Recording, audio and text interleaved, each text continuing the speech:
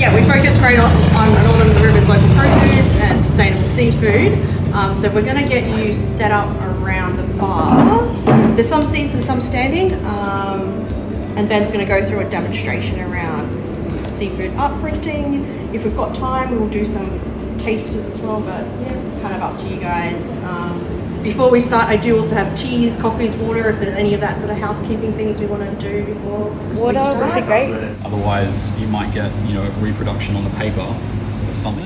Any other stains? That seems okay. Tray. Basically, I'm going to try and stuff that back inside and show a bit more about our region and the things that we have. So part of it is obviously you're looking at. You've got a lot of which look really nice.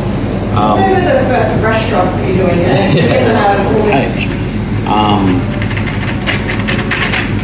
one of the ones to move reasonably quickly because it might dry a little bit. Uh, you end up, you'd say if there was little lumps basically in the ink, you put the paper down and you'd hit this one. Well, we'll see how we go. Just to see what happens. All these long leading tentacles, the candles. Um, I don't know if that's a real term for a range of things, but you'd always want the candles to be kept aside so we can use it for our legs. Talk about these Gyotaku fish prints, um, but I guess the reason why we're going to talk about them is because they're part of our sort of whole thought process of trying to reuse and kind of recycle. And southern calamari, it's a slightly larger species of squid, good for printing. Um, the way that the squid works, you've got eight tentacles and then um, these sort of two longer legs. Where was the squid, squid caught? This one is actually from um, Port Lincoln. This is South Australian squid. The reason we're doing that is we had our heart set on doing a squid printing class right now, and that is where I could get squid from right now. We have been using in the restaurant arrowhead squid from Ballina. That's been really good. A little bit smaller. The difference actually is um, so you can see the, the wing on the side. This is part of what they use for propulsion when they're swimming along. On an arrowhead squid, that wing sort of stops here. It's a smaller one, so it looks like the head of an arrow, whereas this calamari kind of goes all the way down. Slightly different, but these are quite good for printing. They're a little bit larger. So squid, you've got tentacles, you've got legs, you've got eyes in the head. Um, inside, there's a little siphon. That's what they use to pr- propel water, things like that. Um, and then we've got wings, and then the hood.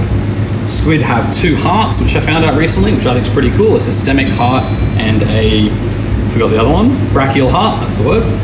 They've also got sort of two sides of the brain that run independently. So I know when you catch a squid, if you wanted to like brain spike it like you would with a fish, you have to hit both sides because if you hit one side, you'll watch the other side of the body just go limp, but this side stays alive. So then you've got to hit the other side as well, which I think is wildly fascinating.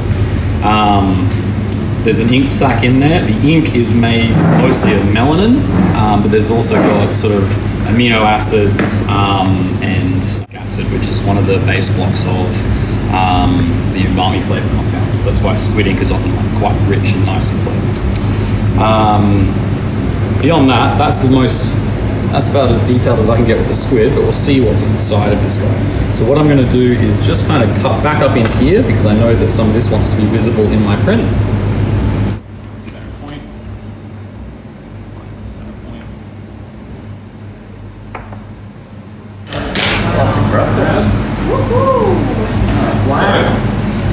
A little heavy on one side of the, uh, the tube there, but not too bad. I managed to get these reasonably cleanly, which is alright. So what I'll have to then do is go in, and use a brush to paint in the eyes,